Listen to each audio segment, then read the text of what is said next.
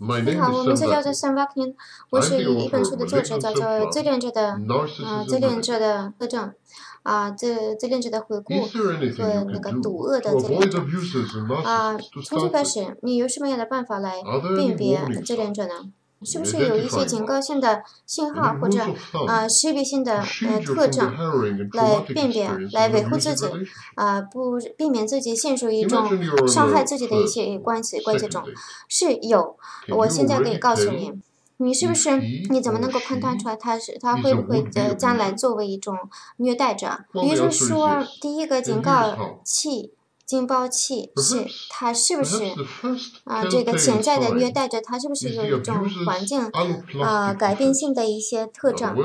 就是说，就是说，他是不是有一种趋向啊？摔锅，呃，他任何的错误，任何的试错，他一直就愿意向其他的人，向宇宙整个的，他是不是能够承认自己的错误？他是不是能承担呃自己的责任？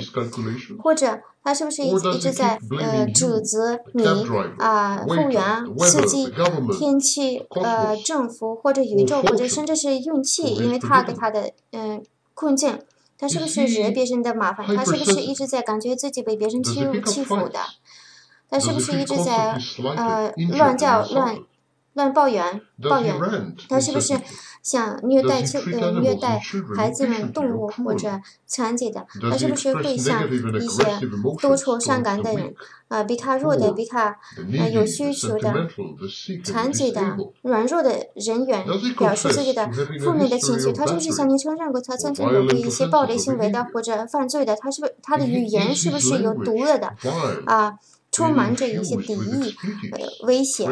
下一个东西是，他是不是太嗯着急？太催你嫁给他，嗯，虽然只不过是见过两三次面，那是不是第一次约会的时候他就要求你跟他在一块生孩子？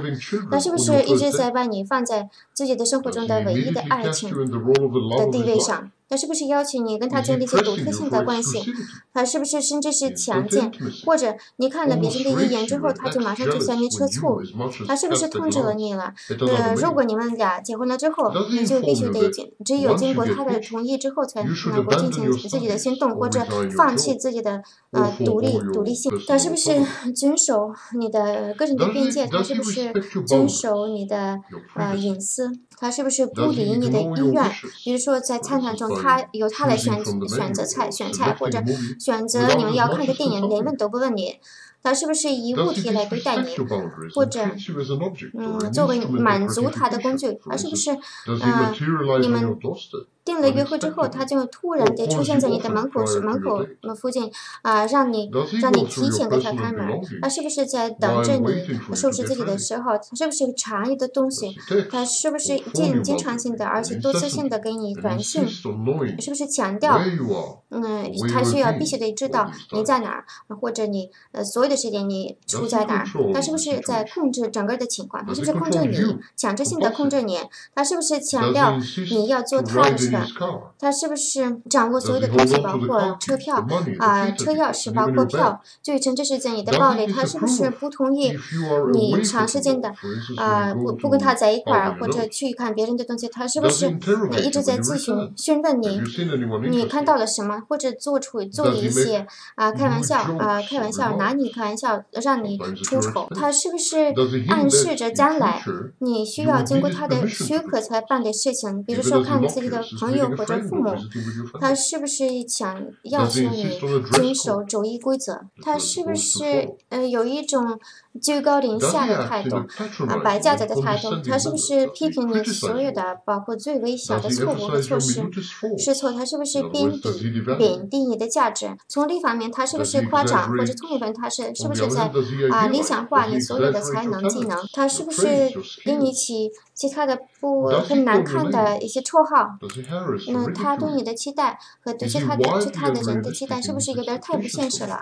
而且对于生活的期待，是不是也不现实？这抖音是不祥之兆，他是不是一直在告诉你，你让他感觉非常舒服，非常好？你不要那个太兴奋了，因为下一个下嗯，他马上就会受到你呃让他感觉非常不舒服，或者暴力，或者你在挑衅他，挑嗯那个自恋者、虐待者的最常用的一句话是：你看你是我干什么的了？干什么的了呢？这是一种啊到处可见的一种一句话，是不是你的对象啊感觉一种性虐待比较有趣儿或者好玩儿？他是不是有点太嗯推推你太催你？是不是除了那个做爱方面以外，他也是不是表示自己的强烈性的态度？